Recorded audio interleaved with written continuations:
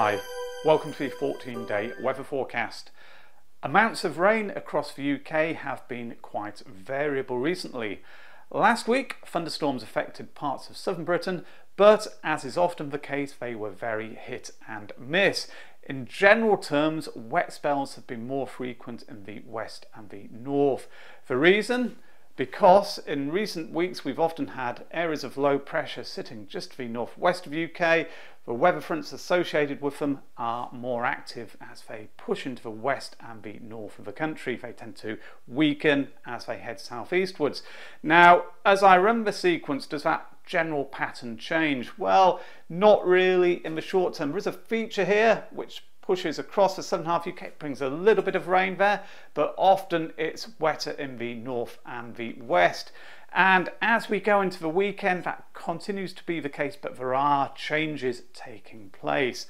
High pressure is building to the southeast, and there's potentially some very warm air moving up across southern and central regions.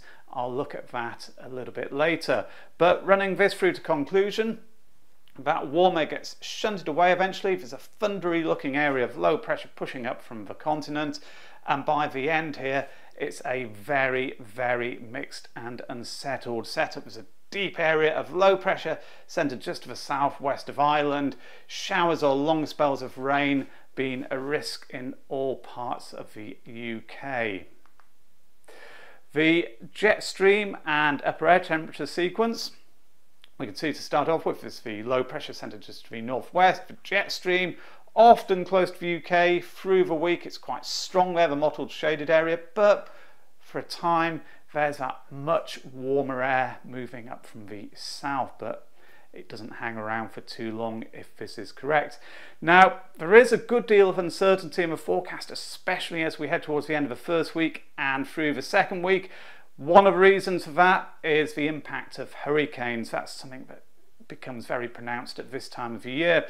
And on the sequence here, what we can see is to the bottom left, Hurricane Debby sitting over Florida. The top right is the United Kingdom and Western Europe. And as I run the sequence, what we see is the Hurricane sits around there for several days, but then as we go through next week, it finally gets a move on. It's steered across the North Atlantic, its remnants making their way towards the United Kingdom. There's a lot of uncertainty, as I say, because this is just one computer model run. How that hurricane phases with other systems in the North Atlantic, very uncertain at this point. It has the potential, though, to bring some very moist air with it, and that could, only could, increase the risk of significant amounts of rain in parts of the UK, maybe the southern half. But the devil will be in the detail, and it is a long, long way into the future in weather terms. Coming back to the next few days, here are some charts to show the conditions which could be expected at the surface. Wednesday, the 7th of August, mostly dry, close to average temperatures cooler in the north as you'd expect and a greater risk of showery rain there. Forwards to Thursday, there's patchy rain affecting parts of the UK. There could be some rain moving eastwards across the southern half, as I've mentioned, I don't think amounts are going to be great.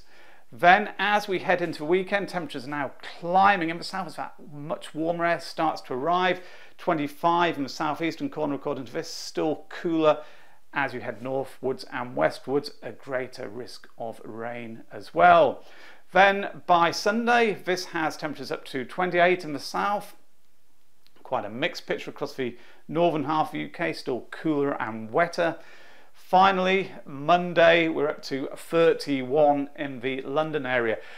I wouldn't bank this as being a definite, definite outcome by any means.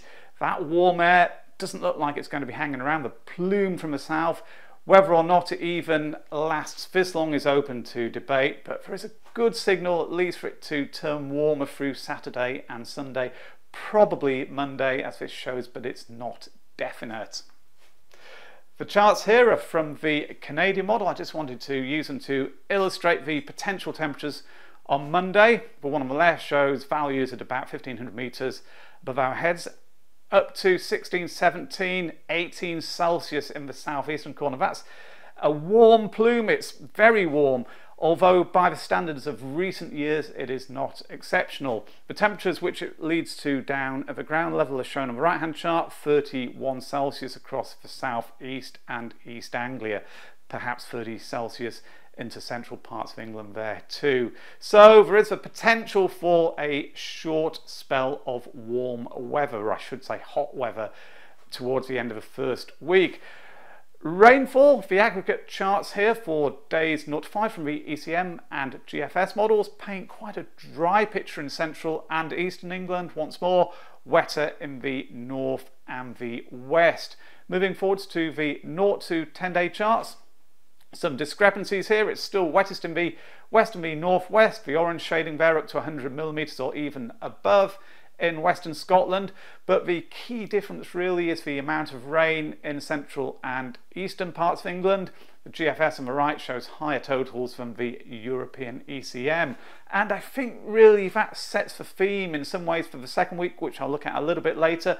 The ECM is suggesting that high pressure will continue to have more influence in the south than the GFS, GEFS.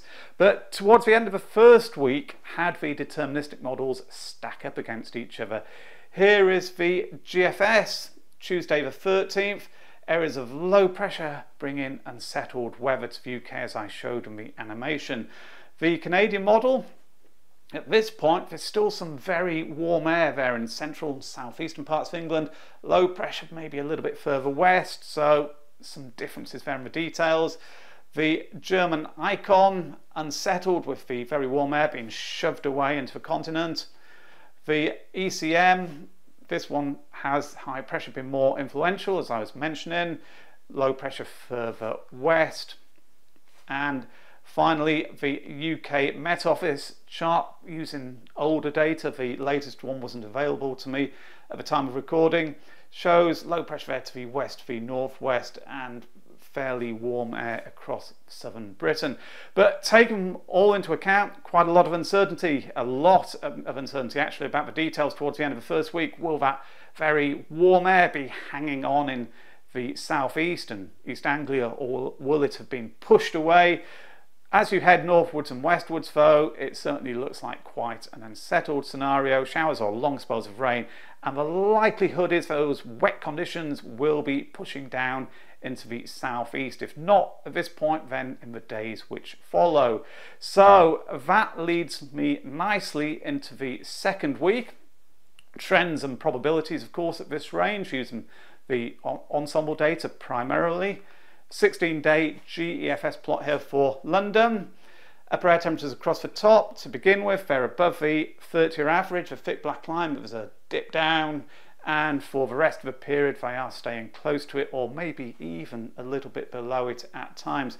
Also notice that in the shorter term there are some very warm runs, of plume type conditions with that very warm air being pushed up from southern Europe.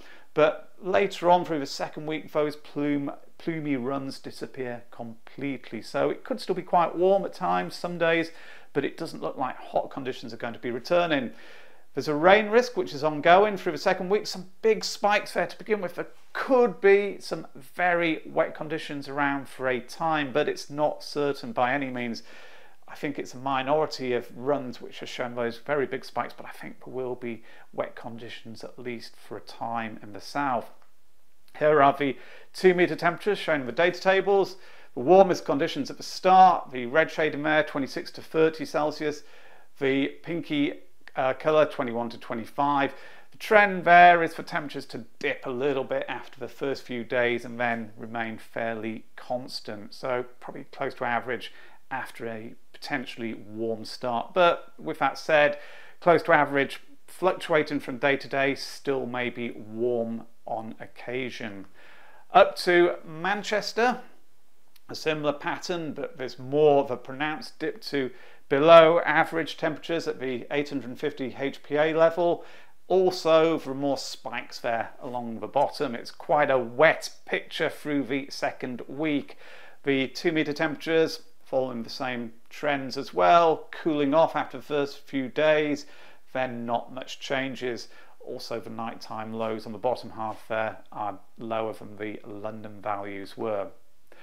Up to Glasgow, we don't really see that warm air extending this far northwards, at least not much chance of it reaching uh, Scotland.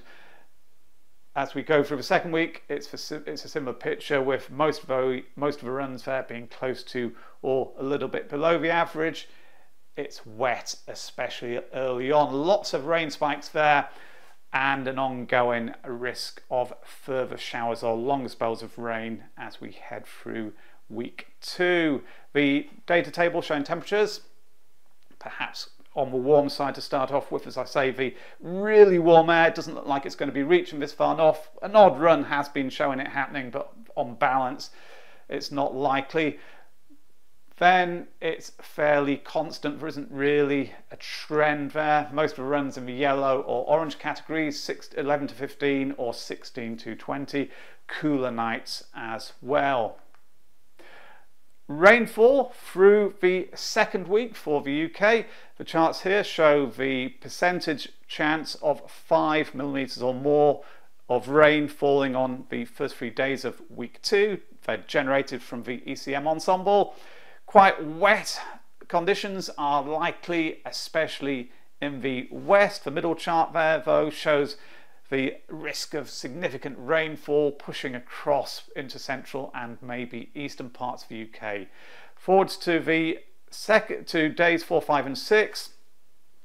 Probably at this stage there is a signal for drier conditions to be returning, especially in the south and the east. The greatest risk of rain often in the west and the northwest, indicating that weather systems are likely to be pushing in from the Atlantic. The GEFS mean surface level pressure plot for Friday the 16th has low pressure centred just to the north, high pressure over the Azores not having much influence on the UK's weather. There is actually quite a brisk Atlantic flow moving across all areas, especially when considering that it is August and not January, and that this is generated by averaging out all of the individual runs in the model. Therefore, there is the potential for windy conditions at times through the second week. This shows forecast wind gusts from all of the individual runs in the GEFS model. It's for Cardiff. The period to look at is between the 13th and the 15th. Notice that a few of the runs are going for gusts of between 50 and 60 miles an hour a larger number between 30 and 50. So there's a chance, I think, of it being unseasonably windy through this period, particularly in the west UK. With that said, even in the London area, a few of the runs were going for strong gusts, which were actually quite comparable to the maximums here.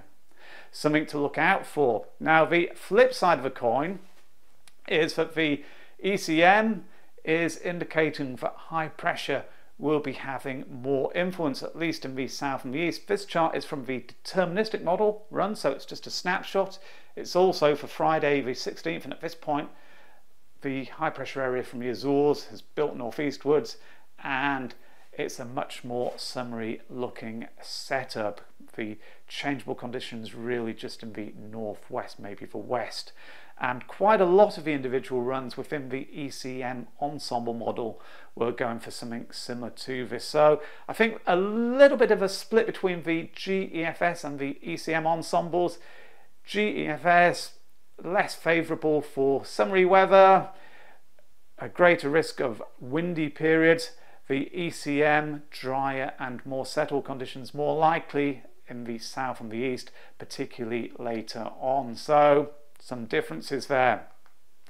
To summarise, week one, changeable, but rain amounts in much of the south remain quite small.